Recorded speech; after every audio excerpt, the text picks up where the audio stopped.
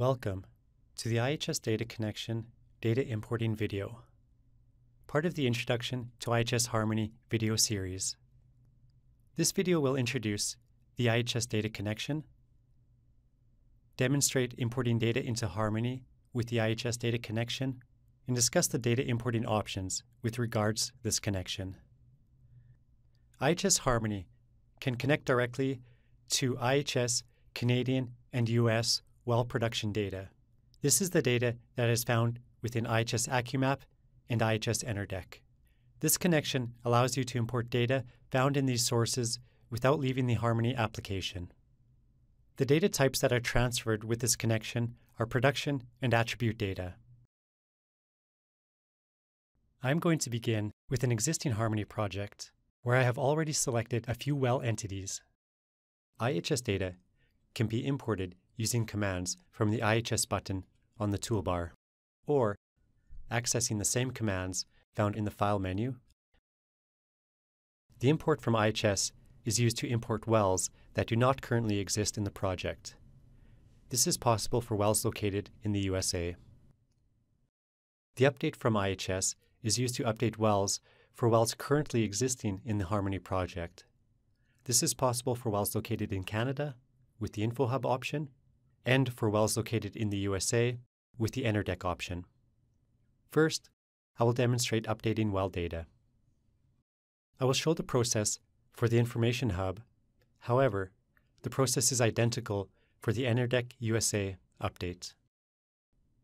All wells in the project can be attempted to be updated, or only those already selected in an entity viewer. I'm going to update only a selection of wells. The next step is to enter your credentials. Note that credentials for the Info Hub will not work to access the Enerdeq data, and vice versa. Selecting Connect will query the IHS database for the well names you had specified and for those wells that exist in the IHS database, the attribute and production data will be updated.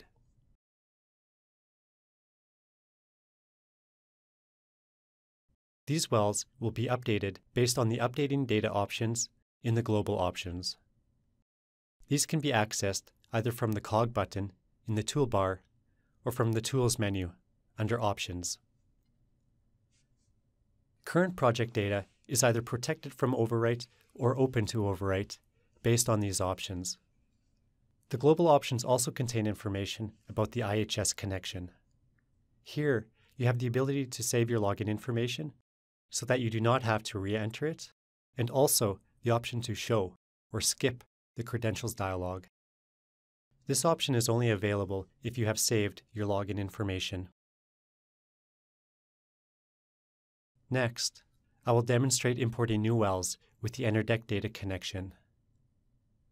The Credentials dialog window will be generated.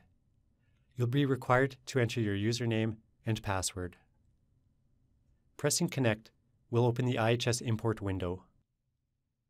This window consists of a GIS interface, a table that will show attributes for wells selected for import, and the attribute list located on the left side of the window. The first step is to zoom into the location where the wells you would like to import data for are located.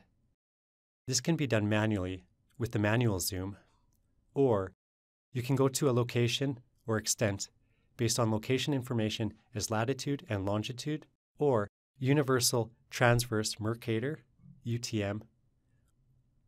I'm going to enter an extent as latitude and longitude.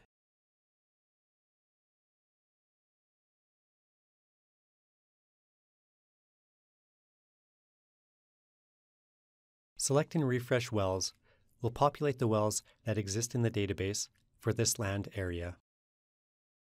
A limitation for this import is that it can only handle 2,500 wells at a single time.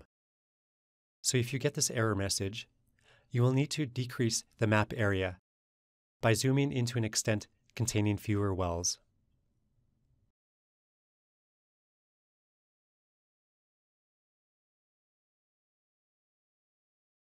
Refreshing the list again, we now have the wells populated onto the GIS. The next step is to select the wells.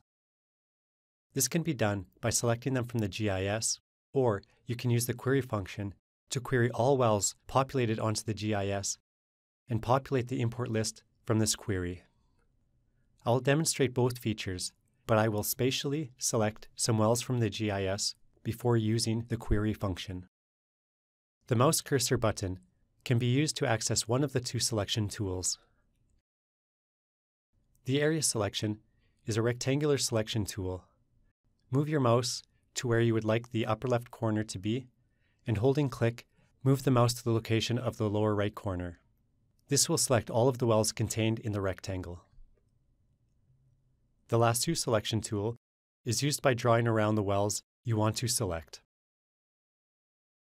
I will demonstrate this while holding the Control key so that I can also select additional wells without losing those selected with the Area Select tool. When wells are selected, their attributes will be populated into the table. And the list of selected wells will show in the import list. The table can be used to select a subset of wells, either by selecting rows of data manually or using the query function. The table can be reorganized on any attribute to help with data selection. Selecting the wells to retain and right-clicking on a row number of any of these selected wells, you have the option to select this subset and consequently remove the unselected wells from this list. The query function can be used to filter this list based on attributes, such as the producing reservoir. Select the attribute to filter against, the operator, and then the operand.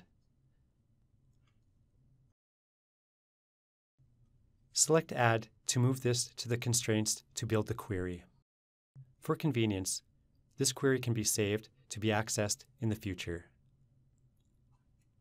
Selecting the Query button will generate the resulting well list. Select Import Wells will move to the next step. Since this project already contains some wells, it is possible to link incoming data to wells already in the Harmony project. By default, Harmony will do this based on the well name or the unique well identifier. Since I know these wells currently did not exist in the project, I'm going to skip this step and select OK to finish the import.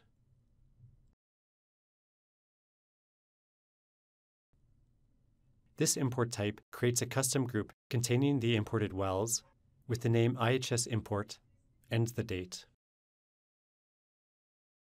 This concludes the IHS Data Connection data importing video, which introduced the IHS Direct Connection, demonstrated how to import data into Harmony with the IHS Data Connection, and discussed the software options related to importing data with this connection.